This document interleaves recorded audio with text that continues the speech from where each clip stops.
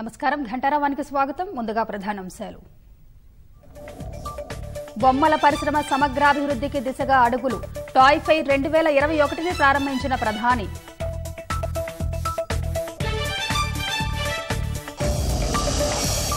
UP Sitapur జిల్లాలో తండ్రి కొడుకు ఘాతుకం. మహిళను అత్యాచారం చేసి నిప్పంటించిన కీచకులు.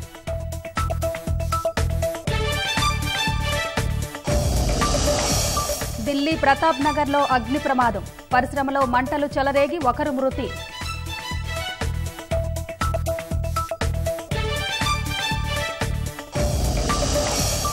నిర్మల్ జిల్లా కూచన్పల్లిలో అమానుషం. బండరాయితో మోది తండ్రిని హతమార్చిన కుమారుడు.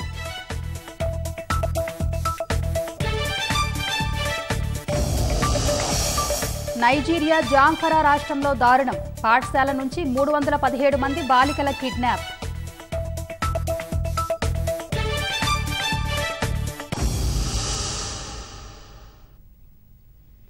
ఉత్తరప్రదేశ్ సీతాపూర్ జిల్లాలో గురువారం దారుణం జరిగింది. తండ్రి కొడుకులు కలిసి ఓ మహిళపై అత్యాచారం చేశారు. అనంతరం బాధితురాలికి నిప్పు పెట్టి హత్య చేసేందుకు యత్నించారు. ముప్పై ఏళ్ళ వయసు గల బాధిత మహిళ తల్లిదండ్రుల ఇంటికి వెళ్ళడానికి జట్కా బండి ఎక్కింది. కొంత దూరం వెళ్ళగానే ఆ బండిలో ఉన్న తండ్రి కొడుకులు ఆమెపై అత్యాచారం చేసి నిప్పు పెట్టినట్లు సీతాపూర్ ఎస్పీ ఆర్పీ సింగ్ తెలిపారు. సమాచారం అందగానే ఘటనా స్థలానికి చేరుకుని బాధితురాలిని ఆసుపత్రిలో చేర్పించినట్లు పేర్కొన్నారు. ప్రస్తుతం మహిళకు ఎలాంటి ప్రాణాపాయం లేదని వైద్యులు తెలిపారు. మరోవైపు నిందితులను అదుపులోకి తీసుకుని పోలీసులు విచారణ జరుపుతున్నారు. అటు యూపీలోని కాన్పూర్ జిల్లాలో ఏడేళ్ళ చిన్నారిపై సమీప బంధువే గురువారం అఘాయిత్యానికి పాల్పడ్డాడు. చిన్నారిని పొలంలోకి తీసుకెళ్ళి అత్యాచారం చేసిన నిందితుడు అపస్మారక స్థితిలో ఉన్న బాలికను అక్కడే వదిలి వెళ్ళిపోయాడు పొలంలో పడి ఉన్న బాలికను గమనించిన తల్లిదండ్రులు ఆసుపత్రికి తరలించి చికిత్స అందించారు. అనంతరం దాడిపై పోలీసులకు ఫిర్యాదు చేశారు.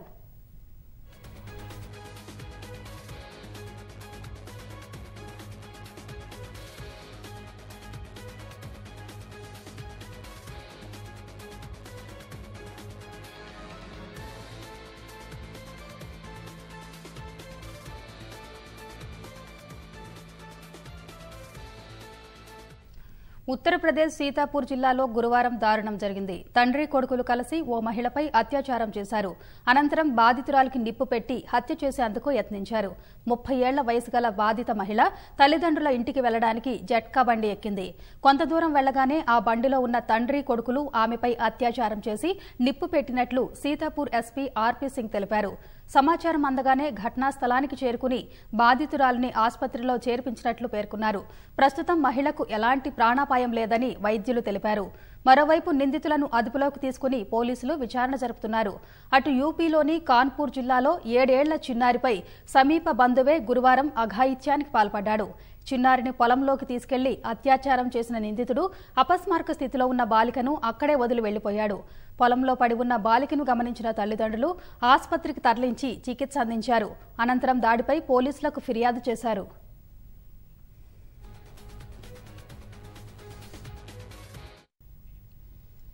నైజీరియాలో ఆగంతకులు మరోసారి రెచ్చిపోయారు. ఈసారి పాఠశాలపై విరుచుకుపడిన సాయుధులు ఏకంగా మూడు వందలకు పైగా బాలికలను అపహరించారు.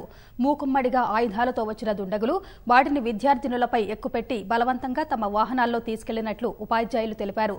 ప్రస్తుతం ప్రపంచవ్యాప్తంగా సంచలనంగా మారిన బాలికల కిడ్నాప్ ఉదంతంపై ఐక్యరాజ్య సమితి కూడా ఆందోళన వ్యక్తం చేసింది. విద్యార్థులను వెంటనే విడుదల చేయాలని డిమాండ్ చేసింది. నైజీరియా ఉత్తర ప్రాంతంలోని ప్రభుత్వ బాలికల పాఠశాలపై శుక్రవారం ఉదయం సాయుధులు దాడికి పాల్పడ్డారు. జాంఫరా రాష్ట్రం జాంగేబ్లోని ప్రభుత్వ సెకండరీ పాఠశాలలోకి ప్రవేశించిన ఆగంతకులు మూడు వందల పదిహేడు మంది విద్యార్థినులను కిడ్నాప్ చేశారు. తుపాకులతో మూకుమ్మడిగా వచ్చిన దుండగులు అక్కడే కొన్ని గంటల పాటు ఉన్నారు. అనంతరం తమతో తెచ్చుకున్న వాహనాల్లోకి బాలికలను బలవంతంగా ఎక్కించుకొని వెళ్ళినట్లు పాఠశాల ఉపాధ్యాయులు తెలిపారు. దాడికి ముందు నాలుగు వందల ఇరవై ఒక్క మంది చిన్నారులు పాఠశాలలో ఉండగా కిడ్నాప్ అనంతరం యాభై ఐదు మంది మాత్రమే మిగిలినట్లు ఉపాధ్యాయులు తెలిపారు. అటు కిడ్నాపర్ల చెర నుంచి బాలికలను విడిపించేందుకు ముమ్మర ప్రయత్నాలు చేస్తున్నట్లు జాంఫరా ప్రభుత్వం తెలిపింది. డబ్బు కోసం జైలులో ఉన్న తమ సభ్యులు విడుదల కోసం బందిపోటు బృందాలు తరచూ ఇలాంటి దాడులకు పాల్పడుతున్నట్లు పేర్కొంది. అపహరణకు గురైన విద్యార్థులను సురక్షితంగా విడిపించేందుకు చర్యలు చేపట్టినట్లు జాంఫరా గవర్నర్ అధికార ప్రతినిధి ఒకరు తెలిపారు. మరోవైపు బాలికల కిడ్నాప్ ఉదంతాన్ని ఐక్యరాజ్య సమితి తీవ్రంగా ఖండించింది. అపహరణకు గురైన బాలికలను బేషరతుగా విడుదల చేసి వారి కుటుంబాలకు అప్పగించాలని డిమాండ్ చేసింది. Nigeria, the latest attack happened overnight in the government girls' secondary school in Jangjebe in northwest. The Secretary General condemns in the strongest possible terms and called for their immediate and unconditional release. Nigeria called on those responsible to release the girls immediately and for the government to take steps to ensure their safe release and the safety of other school children. పాఠశాల విద్యార్థులను అగంతకులు kidnap చేయడం ఇది తొలిసారి కాదు. కొద్ది రోజుల క్రితమే కంగారాలోని ఓ ప్రభుత్వ కళాశాల నుంచి విద్యార్థులు టీచర్లు సహా నలభై రెండు మందిని దుండగులు అపహరించారు. ఇప్పటి వరకు వారి జాడ తెలియరాలేదు. అటు రెండు వేల పద్నాలుగులో కూడా బోర్నో రాష్ట్రంలోని ఓ పాఠశాలపై ఉగ్రవాదులు దాడులకు తెగబడ్డారు. మొత్తం రెండు వందల డెబ్బై ఆరు మంది బాలికలను అపహరించుకు వెళ్ళారు. వారిలో దాదాపు వంద మంది విద్యార్థినుల ఆచూకీ ఇప్పటికీ ప్రశ్నార్థకంగానే మారింది. మద్యం మత్తులో వాహనం నడపడంతో హైదరాబాద్లో మరో ప్రాణం బలైంది. హస్తినాపురంలో తెల్లవారుజామున జరిగిన ప్రమాదంలో యువకుడు ప్రాణాలు కోల్పోయాడు. సాగర్ రింగ్ రోడ్ నుంచి ఇబ్రహీంపట్నం వైపు అతివేగంతో వెళుతున్న కారు ట్రాఫిక్ సిగ్నల్ను ఢీకొట్టింది. అనంతరం డివైడర్ పైనుంచి పై నుంచి రోడ్డుకు మరోవైపు దూసుకెళ్ళింది. ఈ ఘటనలో కారులో ఉన్న సందీప్ అనే యువకుడు అక్కడికక్కడే ప్రాణాలు కోల్పోయాడు. మరో యువకుడు అక్కడి నుంచి పరారయ్యాడు. కారు నడిపిన గౌతమ్ను పోలీసులు అదుపులోకి తీసుకున్నారు. మద్యం సేవించి వాహనం నడపడమే ప్రమాదానికి కారణంగా పోలీసులు చెబుతున్నారు. పేర్కొన్నారు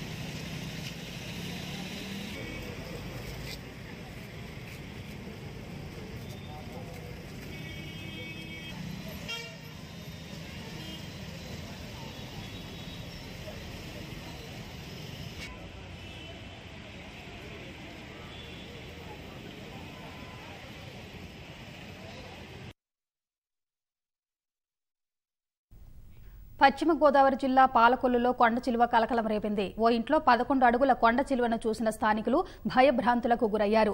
ఈ కొండ చిలువను తీసుకువచ్చి స్నానాల గదిలో దాచినట్లు కోబ్రా నృత్య కళాకారుడు భగవాన్ పోలీసులకు తెలిపారు. ఇటీవల ఓ గ్రామంలో జరిగిన కార్యక్రమాల్లో ఇతను కొండ చిలువను పట్టుకుని నృత్యం చేశారు. అసలు అది నేను ఇప్పుడు కూడా నాకు వచ్చేస్తుంది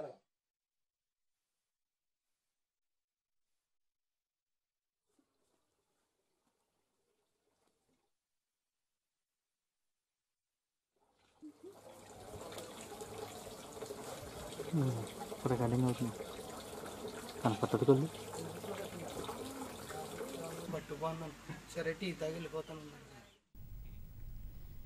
ఢిల్లీ ప్రతాప్ నగర్లోని ఓ పరిశ్రమలో భారీ అగ్ని ప్రమాదం సంభవించింది. తెల్లవారుజామున జరిగిన ఈ అగ్ని ప్రమాదంలో ఒకరు మరణించారు. సిలిండర్ పేలుడు వల్లే మంటలు చెలరేగాయని స్థానికులు తెలిపారు. ఘటనా స్థలికి చేరుకున్న సిబ్బంది ఇరవై ఎనిమిది అగ్నిమాపక యంత్రాలతో మంటలను అదుపు చేశారు. మంటలార్పే క్రమంలో పలువురు అగ్నిమాపక సిబ్బంది గాయపడ్డారు. రానున్న పట్టభద్రుల ఎమ్మెల్సీ ఎన్నికల్లో తెరాస కార్యకర్తలు నేతలు కష్టపడి పనిచేసి పార్టీ అభ్యర్థుల గెలుపునకు కృషి చేయాలని మంత్రి తలసాని శ్రీనివాస్ యాదవ్ శ్రేణులకు దిశానిర్దేశం చేశారు. సనత్ నగర్ నియోజకవర్గ తెరాస పార్టీ సర్వసభ్య సమావేశంలో పాల్గొన్న తలసాని రెండు పట్టభద్రుల ఎమ్మెల్సీ స్థానాలను తెరాసనే కైవసం చేసుకుంటుందని ధీమా వ్యక్తం చేశారు. జీహెచ్ఎంసీ ఎన్నికల్లో ఎదురైన మిశ్రమ ఫలితాల నేపథ్యంలో కార్యకర్తలందరూ అప్రమత్తంగా ఉంటూ గెలుపు కోసం కృషి చేయాలని సూచించారు. ఎమ్మెల్సీగా ఉన్న కాలంలో ఏనాడు భాజపా అభ్యర్థి రామచంద్రరావు నిరుద్యోగుల గురించి మాట్లాడలేదని మంత్రి గంగుల కమలాకర్ అన్నారు. ప్రశ్నించే గొంతు కాకుండా పరిష్కారం చూపే గొంతును గెలిపించాలన్నారు. ఇప్పటికే మొన్న ఎలక్షన్ల మిశ్రమ ఫలితాలు వచ్చినాయి. మనం ఊహించని ఫలితాలు కూడా వచ్చినాయి. కాబట్టి మీరు ఓవర్ కాన్ఫిడెన్స్లో పోకుండా రెండోది మీకు ఇచ్చినటువంటి మీ డివిజన్లో ఉన్నటువంటి పోలింగ్ బూత్లు ఎన్ని ఉన్నాయి? ఆ పోలింగ్ బూత్లు ఎక్కడెక్కడ ఉన్నాయి? అది కూడా ఐడెంటిఫై చేసుకోవడం. పోయిన ఎలక్షన్లో మనకేమో అవగాహన లేకుండే జనరల్గా. అంటే గ్రాడ్యుయేట్ అంటే only direct election date announce చేసారు మనకు ఓటర్ లిస్ట్ పంపించారు మనం వాళ్ళని వెతుక్కునేసరికి పుణ్యకాలం అంతా గడిచిపోయింది. కానీ ఈసారి ఏంటంటే బ్రహ్మాండంగా మనమే ఎన్రోల్మెంట్ చేసినాం. మనమే బ్రహ్మాండంగా ఎన్రోల్మెంట్ చేసినప్పుడు దాన్ని ఉపయోగించుకోవాల్సినటువంటి అవసరం కూడా మనకు ఉన్నది.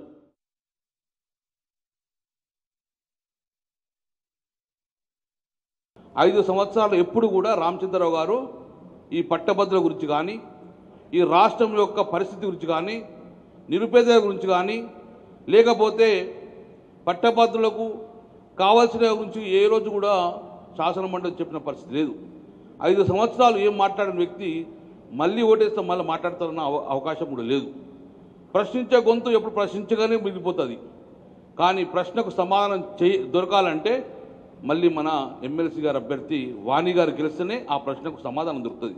లేకపోతే బీజేపీ అభ్యర్థి ఐదు సంవత్సరాలు ప్రశ్నకు మిగిలింది ప్రశ్నించకపోతే ప్రశ్నగానే మిగిలిపోతారు ప్రశ్నకు జవాబు రావాలంటే టీఆర్ఎస్ అభ్యర్థి మన వాణి గారిని గెలిపించిన బాధ్యత మనందరి మీద ఉన్నది. పెద్దపల్లి జిల్లా గోదావరి ఖని ఆర్టీసీ బస్టాండ్ సమీపంలో అగ్ని ప్రమాదం జరిగింది. ఓ ఆటో కన్సల్టెంట్ కార్యాలయంలో మంటలు చెలరేగడంతో సమీపంలో ఉన్నవారు భయాందోళన చెందారు. అగ్నిమాపక సిబ్బందికి సమాచారం అందించగా ఘటనా స్థలానికి చేరుకున్న అగ్నిమాపక సిబ్బంది మంటలను అదుపులోకి తీసుకొచ్చారు.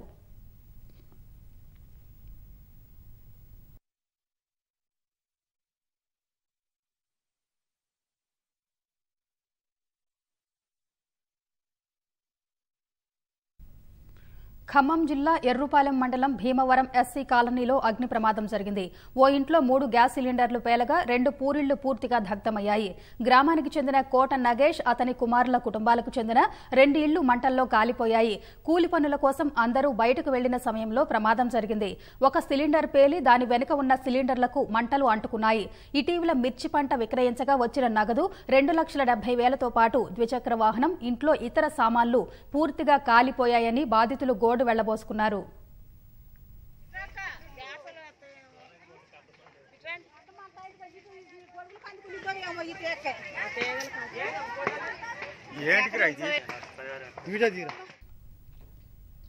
కాళేశ్వరం త్రివేణి సంగమంలో తిరుమల శ్రీవారికి చక్ర స్నానం వైభవంగా జరిగింది. తీతిదే తలపెట్టిన మాఘమాస మహోత్సవంలో భాగంగా శ్రీవారికి పుణ్యస్నానం కార్యక్రమంగా అట్టహాసంగా నిర్వహించారు. గోదావరి తీరంలో శ్రీవారి ఉత్సవమూర్తులకు ప్రత్యేక జలాభిషేకం చేశారు. శ్రీదేవి భూదేవి సమేత మలయప్ప స్వామికి స్నపన తిరుమంజనం నిర్వహించారు. తీతిదే వేద పండితుల ఆధ్వర్యంలో శ్రీవారి చక్ర స్నానం కార్యక్రమం జరిగింది.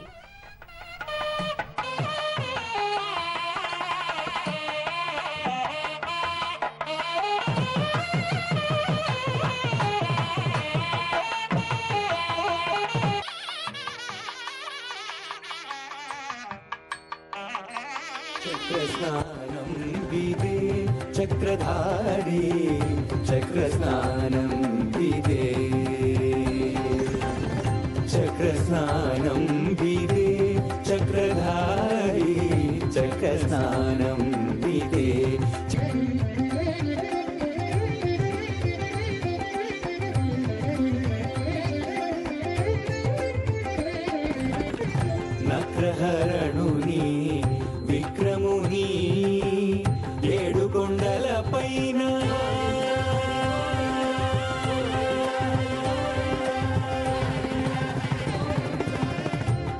ಹರಣು ನೀ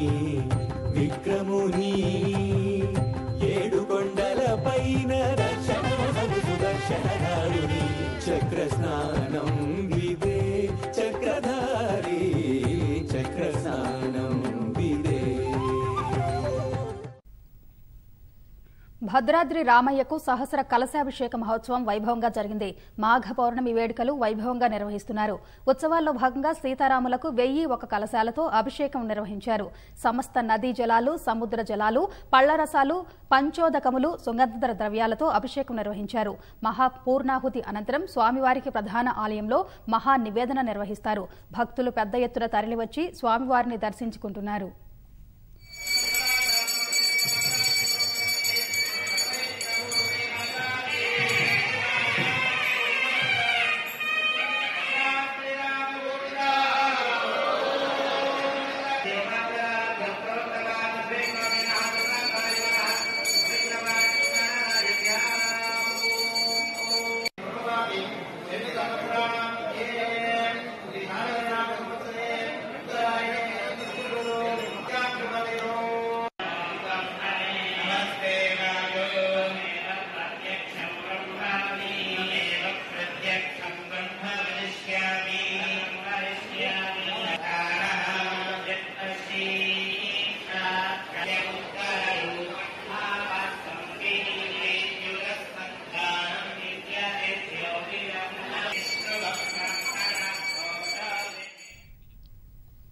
కోరిన వారికి కొంగు బంగారమై నిలిచేవాడు Vemulawada Rajanna.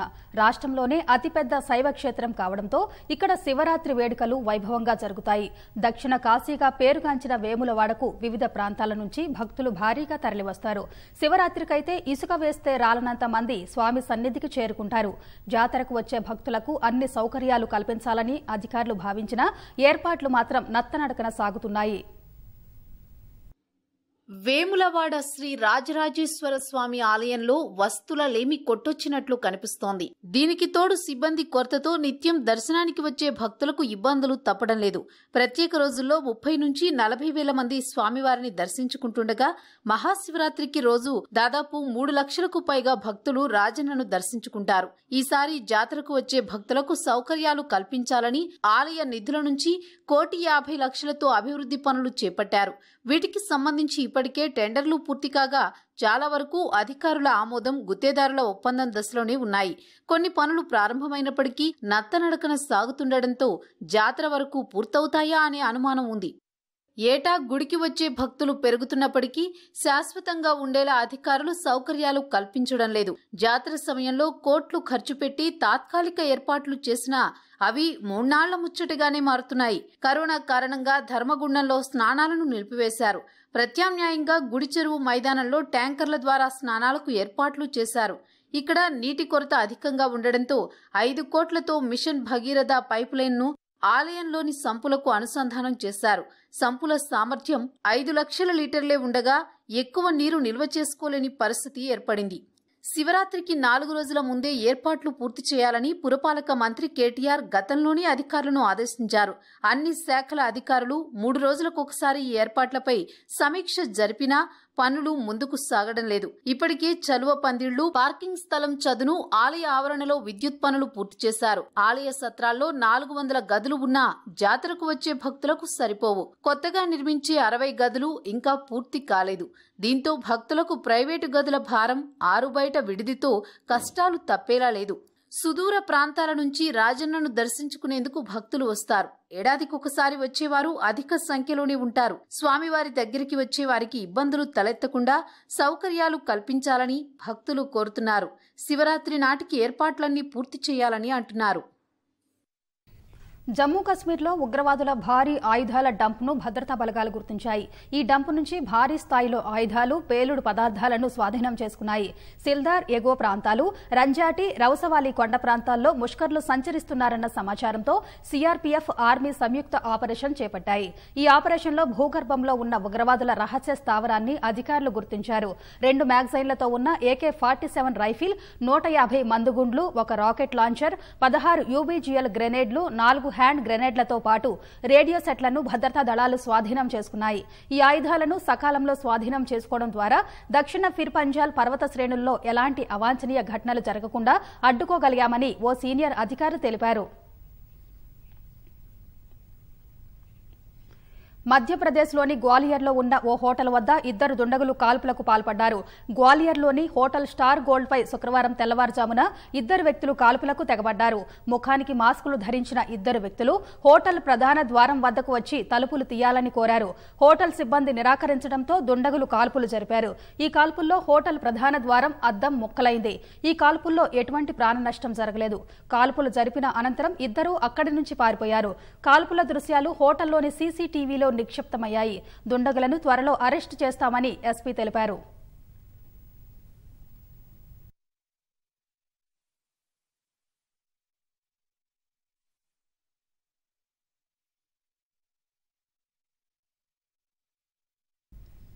PSLV C fifty one ప్రయోగానికి రంగం సిద్దమైంది ఇందుకోసం శ్రీహరికోటలోని షార్లో ఉదయం ఎనిమిది గంటల యాభై నాలుగు నిమిషాలకు కౌంట్ డౌన్ ప్రారంభమైంది. ఇరవై ఐదు గంటల ముప్పై నిమిషాల పాటు కౌంట్ డౌన్ కొనసాగనుంది. ఆదివారం ఉదయం పది గంటల ఇరవై నాలుగు నిమిషాలకు పిఎస్ఎల్వి సి ఫిఫ్టీ వన్ నింగిలోకి దూసుకెళ్ళనుంది. దీని ద్వారా బ్రెజిల్కు చెందిన అమెజానియా వన్తో పాటు మరో పద్దెనిమిది ప్రైవేట్ ఉపగ్రహాలను ఇస్రో నింగిలోకి పంపుతోంది.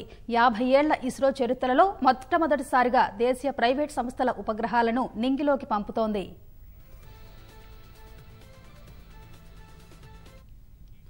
ఇస్రో మాజీ చైర్మన్ సతీష్ ధవన్ పేరుపై స్పేస్ కిడ్జ్ ఇండియా రూపొందించిన సతీష్ ధవన్ శాట్ను పిఎస్ఎల్వి సి ఫిఫ్టీ వన్ నిర్దేశిత కక్షలో ప్రవేశపెట్టనుంది. తొలిసారిగా ఆర్బిట్లోకి ఉపగ్రహాన్ని పంపనుండటంతో ఓ ప్రత్యేకత ఉండాలని భావించిన స్పేస్ కిడ్జ్ ఇండియా ప్రధాని నరేంద్ర మోదీ చిత్రపటాన్ని ఉపగ్రహంలో పంపుతున్నారు. మోదీ పేరు ఫోటో దాని కింద ఆత్మ నిర్భర్ మిషన్ అనే పదాలతో పాటు భగవద్గీత కాపీ ఇరవై ఐదు వేల మంది పేర్లను కూడా పంపుతున్నారు. ఈ ఇరవై ఐదు వేల పేర్లలో వెయ్యి మంది విదేశీయులవి కాగా చెన్నైలో ఓ పాఠశాలకు చెందిన విద్యార్థుల పేర్లు ఉన్నాయి. గతంలో కొన్ని దేశాలు రాకెట్ ప్రయోగాల్లో బైబిల్ను అంతరిక్షంలోకి పంపాయి.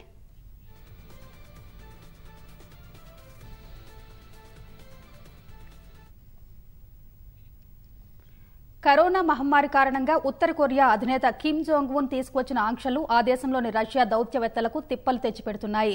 స్వదేశానికి చేరేందుకు రష్యా దౌత్యవేత్తలు చాలా కష్టమైన సుదీర్ఘ ప్రయాణం చేయాల్సి వచ్చింది. అన్ని కష్టాలను అధిగమించి రష్యా ప్రతినిధులు స్వదేశానికి చేరుకున్నారు. గతేడాది జనవరిలో చైనాలో కరోనా మహమ్మారి బయటపడిన వెంటనే ఉత్తర కొరియా అప్రమత్తమైంది. తన సరిహద్దులను పూర్తిగా మూసేసి విమానాలు రైళ్ళ రాకపోకలను నిలిపివేసింది. దీంతో చాలా మంది విదేశీయులు ఉత్తర కొరియాలోనే ఉండిపోవాల్సి వచ్చింది.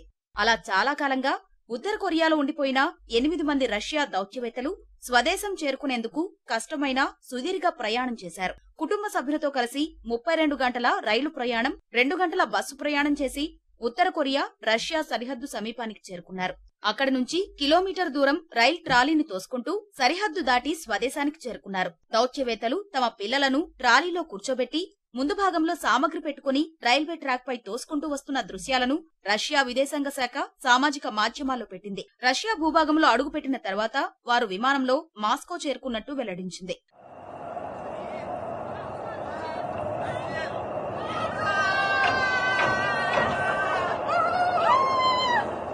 కరోనా నేపథ్యంలో కఠిన ఆంక్షలు తీసుకొచ్చిన ఉత్తర కొరియా తమని తాము వైరస్ రహిత దేశంగా ప్రకటించుకుంది. అయితే ఆంక్షల వల్ల ఆ దేశ ఆర్థిక వ్యవస్థ మరింత సంక్షోభంలో కూరుకుపోయినట్లు తెలుస్తోంది.